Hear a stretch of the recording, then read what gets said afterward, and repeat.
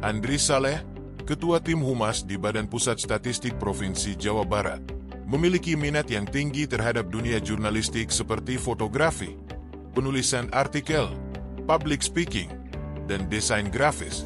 Komikus Mbak Pia di majalah Varia Statistik tahun 2012 hingga 2021. Desainer logo Sensus Ekonomi 2016. Sutradara terbaik dalam ajang Indonesian Sensus Film Festival tahun 2019 dan 2023 penulis cerpen terbaik ketiga nasional BPK RI tahun 2021, serta penulis 22 judul buku ajar, ensiklopedia, dan novel matematika. Saat ini bekerja sampingan sebagai redaktur di bandunghariini.com dan sebagai kolumnis di beberapa media online, seperti Mojok dan Kumparan Plus, awal tahun 2024 yang lalu baru saja menyelesaikan pendidikannya pada program studi Magister Ilmu Komunikasi.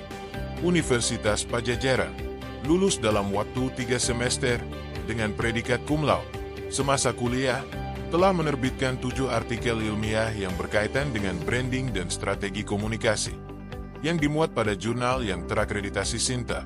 Dalam ajang Insan Statistik Teladan 2024 ini, sedang merancang sebuah grand design kehumasan BPS di tingkat provinsi dan kabupaten kota, khususnya dalam hal penguatan peran kehumasan.